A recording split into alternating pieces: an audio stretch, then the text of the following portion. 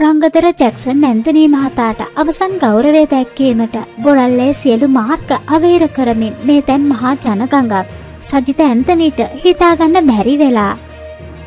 ඔබ කලාකාරයකි පුරාවෘතයකි ශ්‍රී ලංකා සිනමාවේ අසාය රංග පෞරුෂය Jackson Anthony ඊයදිනේ නිහඬ විය. ඇන්තනී පවුලේ සියලු දෙනාට වගේම ඔහුට ආදරය කරන ලක්ෂ සංඛ්‍යාත ජනතාව ඔහු වෙනුවෙන් හඬා වැළපෙනවා. ආදරණීය පියාගේ අභාවයෙන් පසු පළමු වතාවට මාධ්‍යයට අදහස් දැක්වූ මාධවී ඇන්තනි පවසා තිබුණේ මෙවැන්නක්.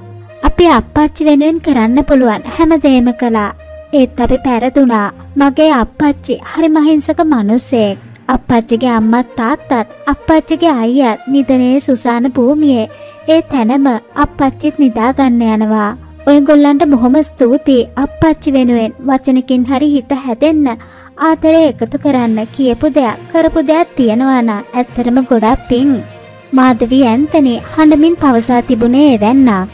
ඉතින් මේ වෙන විටද බොරැල්ලේ සියලු මාර්ග අවහිර කරමින් මහා ජනකඟක් ජැක්සන් ඇන්දනී මහතාට අවසන් ගෞරව දැක්වීමට පැමිණෙන බවයි වාර්තා වන්නේ.